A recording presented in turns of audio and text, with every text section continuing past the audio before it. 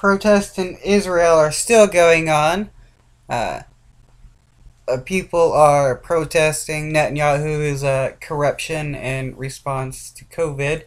Uh, basically, the same that is going on in the United States. People protesting the corruption of Trump and the COVID response, as well as police brutality. Uh, it looks like uh, Netanyahu's uh, longtime allies are also turning against him, which uh, is like uh, likely means that uh, he could be ousted. Uh, what? Uh, according to this video, uh, there's been three elections um, that have been considered um, inconclusive, and Netanyahu's winning a fourth one.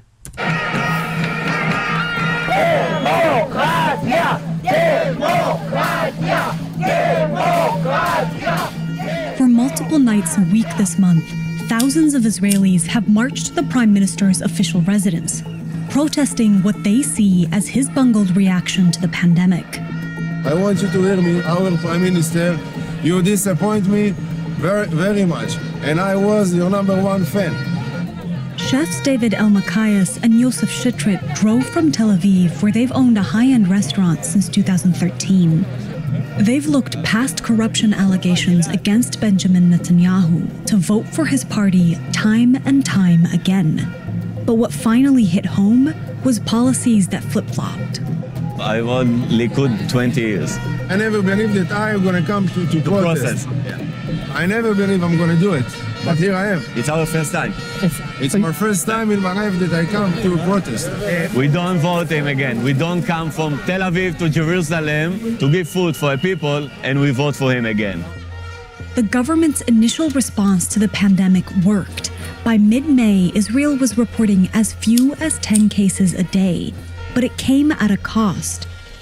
Unemployment skyrocketed from 4% to 24%, and the government tried to address it by reopening and then backtracking.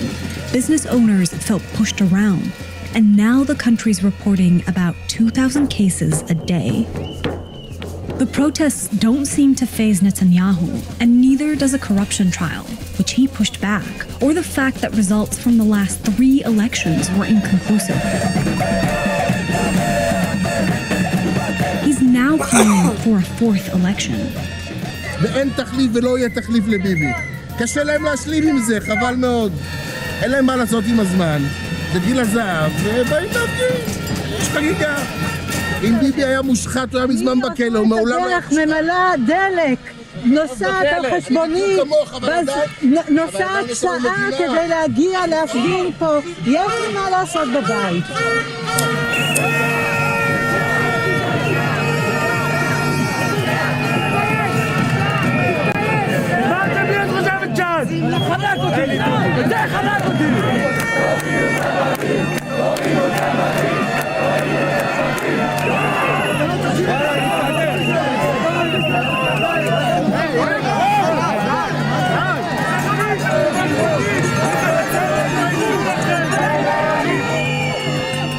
Have arrested nearly 100 demonstrators and served many of them with a citation that bans travel to Jerusalem for up to 10 days. Whoa! They have a citation. A.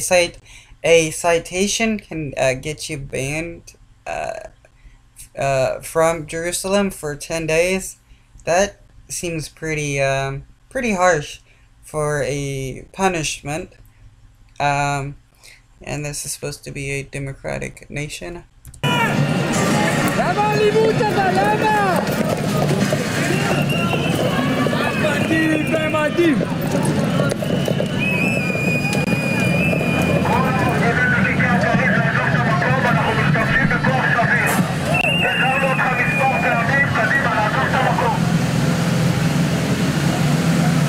Whoa, yeah, it, I forgot is the, uh, Israeli government likes to use water cannons on protesters.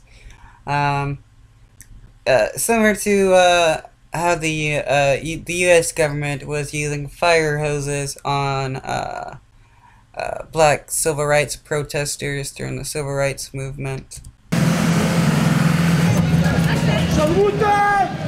Israel has a COVID 19 response team, and it has a protocol to beat back a second wave. But when cases were down, Netanyahu pushed out members of opposing parties, and the members who replaced them aren't following the original plan. Ofer Shelah headed that committee before he was deposed. Most of the Israeli public thinks that Netanyahu acts out of polit- political reasons. And this has to do with the, the size and, and inefficiency, futility of his government, and so on. Uh, once this happens, this, uh, this is the seed of anarchy. You know, I'm Israeli born and raised. I've lived here for the past 60 years. We've never had a situation of such deep mistrust between the public and the, and the government. To Shelah, Netanyahu is not seeing the pandemic as a public health emergency. He sees it as a chance for political survival. He's a coward. He's trying to lead us by cowardice. We Israelis, we the world, will not be led through this crisis by cowardice. What people are seeing for the first time in, in the Netanyahu years is a situation where you, you look at the polls, most of uh, the, Israelis just think he's handling this very poorly. So it reflects on the whole of his 11 year term, and people are saying this is just not a very good prime minister, and this is a prime minister that acts because he has political considerations in mind, because he has legal troubles.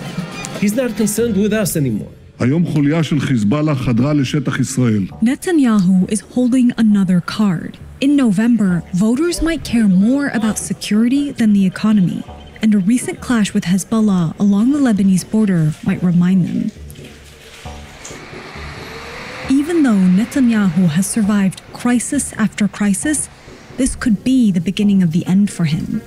He's even losing the support of loyalists who once served him and his family dinner. If the Netanyahu family ask me, and I don't know, if the government asks me, that maybe they need to uh, host uh, some uh, president for outside, I don't know, maybe Trump, if the Trump won't want to come now to Israel, I never go now to Balfour. It's, it's not match what we want and what they want. So it's not going to happen in this situation ever. A lot of time people say I'm uh, Mr. Uh, security, but uh, now the security is not the issue.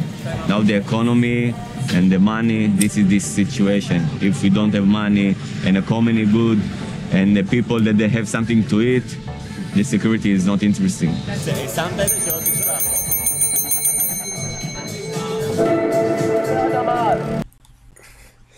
He's quite right. if people aren't, uh.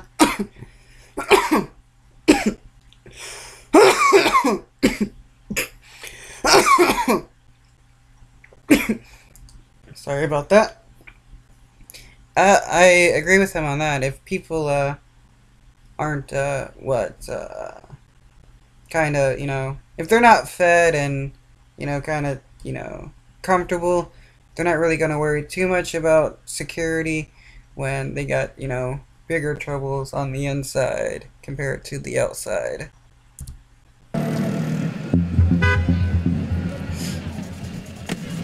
I go to a lot of these. Um, I'm happy she's finally angry enough to go with me, though. The fact that they pushed this law through really pissed me off. Last week, Israeli parliament passed a sweeping measure that allows for new laws meant to curb the virus to be implemented within 24 hours without Knesset approval. But critics of this new law think it's just a way for the government to expand its power. They are saying that the cabinet can push through directives um, on the entire population of Israel, um, and that the, the Knesset committees, only four of them are relevant, will have 24 hours to approve or reject it. But in addition to that, and this is the part that it really, really made me angry, they also have the power to decide that the Knesset committees on urgent issues, whatever they deem urgent, which they don't define, don't have to go to the committees at all. And not only that, but the Knesset committees, which are relevant, only four of them which exist, can only do anything about it after an entire week.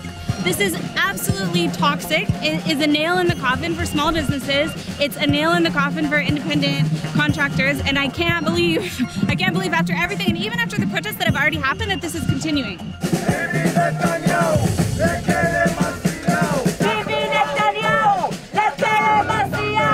It really concerns me when you have like government being um, increasingly expanded at this level. I'm a person who doesn't believe in this, despite the fact that I'm in Likud, that I'm a Likud supporter. Um, I don't think that this is in line with like our values as a party um, and what the platform stands for. And it really, really upsets me that they're using the coronavirus as an opportunity to politicize um, this issue and to push through specific people's um, agendas and things that act against even other figures in their own party, such as the head of the coronavirus committee.